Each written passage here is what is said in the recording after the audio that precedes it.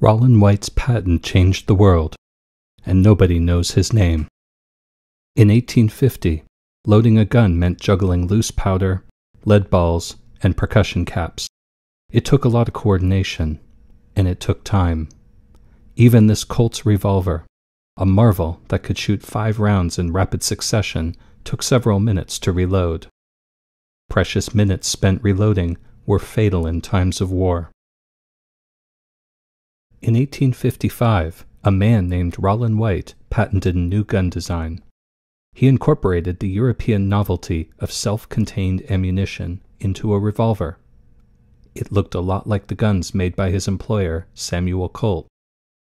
But White's design involved a complicated loading system that proved too troublesome. Samuel Colt scoffed at White's invention. He told Rollin White there was no future in cartridge ammunition. White's patent seemed destined to fade into obscurity. In 1855, two other enterprising businessmen were busy making their mark on the firearms industry.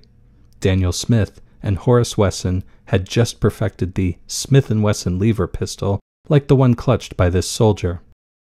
Buoyed by its success, the partners sold their enterprise to Oliver Winchester, and they risked it all on an even more ambitious project a revolver that would shoot cartridge ammunition. It was a courageous idea, the same idea that had been scoffed at by Samuel Colt.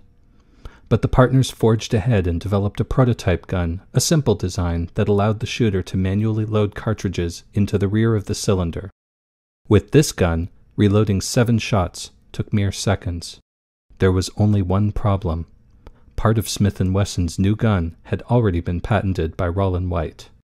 White agreed to grant Smith & Wesson an exclusive license to his patent for $500 and a royalty of 25 cents payable for each gun produced. The catch? Rollin White had to defend the patent against anyone who violated it.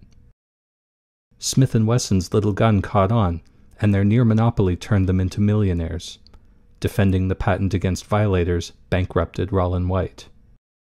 In violation of his own patent agreement, Rollin White also got into the business of producing guns, and like all of the other patent violators, he was forced to turn over his guns to Smith & Wesson. White's 1870 petition for relief was passed by Congress and vetoed by President Grant. White died penniless in 1892.